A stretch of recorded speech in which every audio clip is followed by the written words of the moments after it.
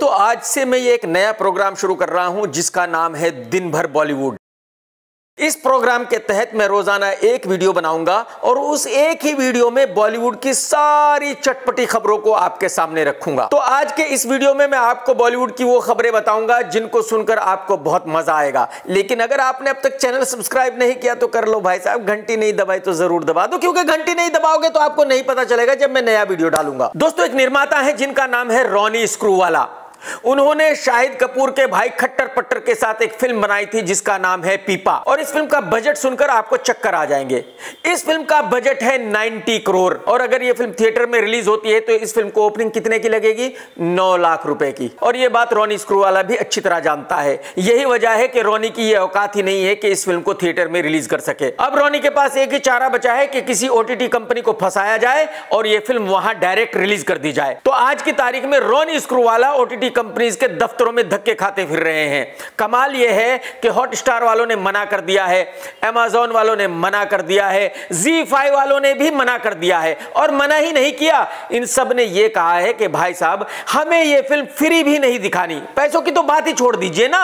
हमें तो अगर आप ये कहते हो कि भाई ये फ़िल्म फ्री दिखा दो, हमें फ्री भी नहीं दिखानी। सुना यह गया है कि रोनी स्क्रूवाला जब नेटफ्लिक्स के ऑफ़िस में गया इस फ़िल्म को बेचने के लिए तो वो लोग इस फ़िल्म का नाम सुनते ही भड़क उठे और रोनी स्क्रूवाला को धक्के मारकर ऑफ़िस से बाहर निकाल दिया। तो इसका मतलब यह हुआ कि होशियार चंद रोनी स्क्रूवाला को इस बार सही का स्क्रू हुआ है। और रोनी स्क्रूवाला के गले में सिर्फ़ ये एक ही फ़िल्म नहीं है, भाई साहब, आठ फ़िल्में बनकर तैयार पड़ी है जिनका खरीदार कोई भी नहीं है। तो इसका मतलब यह हुआ कि रोनी स्क्रूवाला का ऑफ़िस बिकना पक्का है। झुग्गी एक्टर सिद्धांत चतुर्वेदी को आप जानते ही हैं। वो आया था फ़िल्म गहराइया में, बंटी बबली टू में और फ़ोन बूथ में। और ये तीनों ही फ़िल्में डिसास्टर रही थी। मैं पहले ही दिन से कह रहा हूँ कि इस झुग्गी एक्टर को एक्टिंग का ए भी नहीं आता। बॉलीवुड वाले इससे दूर रहे। लेकिन पता नहीं इन बॉलीवुड वालों को क्या खुजली है कि ये हर किसी को सुपरस्टार मान लेते हैं। तो जिस वक्त ये झुग्गी एक्टर इन फ़िल्मों को कर रहा था, उसी वक्त फरहान अख्तर ने एक सोलो फ़िल्म का ऐलान किया था उसके साथ बनाने के लिए। और अब फरहान अख्तर साहब को पता चल गया है कि भाई इस झुग्गी एक्टर को तो इसके पड़ोसी भी देखने थिएटर में नहीं जाते। तो फरहान अख्तर साहब ने उस फ़िल्म को बंद कर दिया है। इसका मतलब यह हुआ कि झुग्गी एक्टर के पास आज की तारीख में कोई फ़िल्म नहीं है और झुग्गी एक्टर सड़क पर आ गया है। कल के दिन सिद्धार्थ मल्होत्रा और कियारा एडवाणी की शादी हो गई है और मेरे ख्याल में ये जोड़ी बहुत ही परफेक्ट है, क्योंकि कियारा भी बहुत अच्छी लड़की है और सिद्धार्थ भी बहुत अच्छा लड़का है।